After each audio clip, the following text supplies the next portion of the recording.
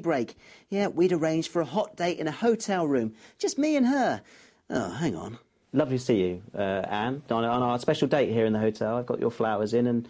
Who's Sorry to this? intrude. What, what, who's, who's this strange co-star you brought with you? This is my chaperone. Yeah? Yeah, he keeps me on the up and up.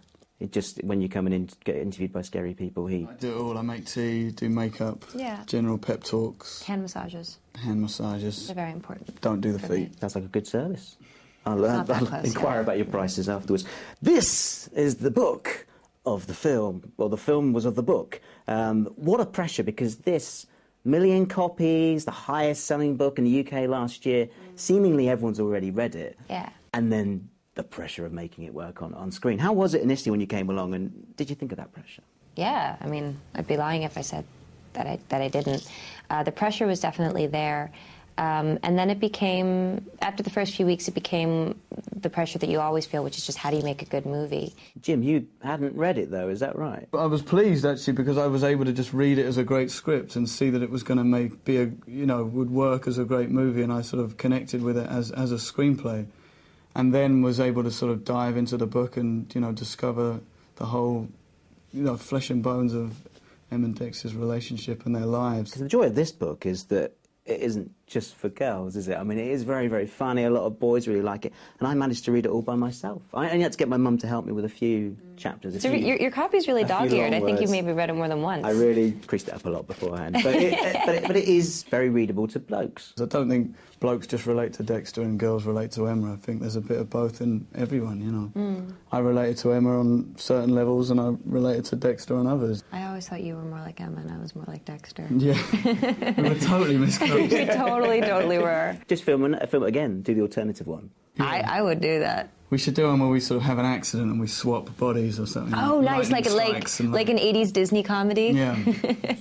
Well, look at you. Huh? You even you look like a writer.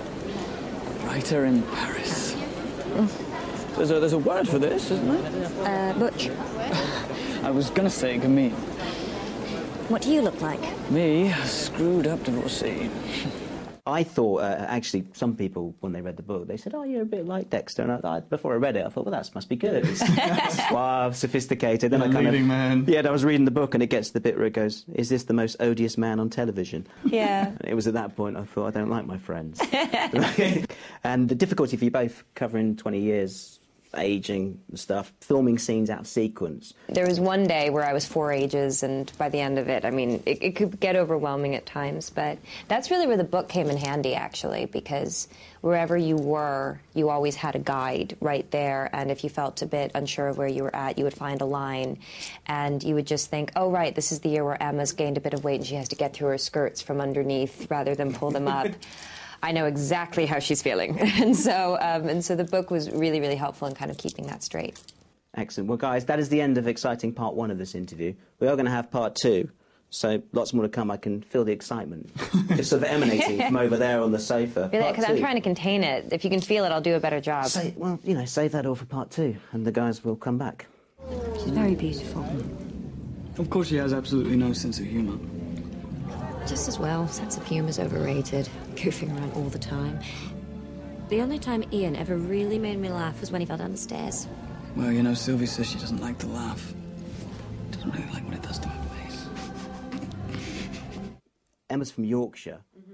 How hard was that? you know, getting the Yorkshire dialect was, was hard enough, but then you have to figure, then it changes over 20 years. So finding a way to have the accent grow and change subtly, um, that, that was a big challenge. You can't just go for every scene by just going, hey up, love, can you? it, it isn't that easy. Let's have a bath. Let's have a bath. Every scene. Hey up, come have a cup of tea. I, Emma was obsessed with getting clean in this movie. I just wanted to have a bath in every scene. I heard that, uh, to get this right, you ate lots of Yorkshire puddings, Wensleydale cheese, you watched Emmerdale, and you listened to Def Leppard. I didn't listen to Def Leppard, and I, what was the type of cheese? Wensleydale, I don't know what that is. it's Yorkshire. Oh! Bell, didn't do your research properly. But I did, I did eat Yorkshire pudding and watch Emmerdale. As a special treat, we got you this. You got me cheese? Got oh, tea. this. Tea's better. Yeah? Thank Yorkshire you. tea. Thank you We very can have a much. cup of that later. Thank you. All right. The thing about this film is a lot of people are saying it's like the crying challenge. Can you get through the film without crying? Mm-hmm. I went with our weather girl called Lucy. Here's Lucy. Hi, Lucy. Lovely Lucy. Hello, Lucy. Okay, Jim, you made Lucy cry. How do you feel making a girl like that cry, Jim? I feel very good about it. Yeah, I feel like we did our job right. Yeah. That's like a greatest trophy. I Yeah, could, there uh, you go. Thank You you, very much. Before and after. Sure. You know, to camera, just say sorry about the tears. Sorry about the tears. I apologise.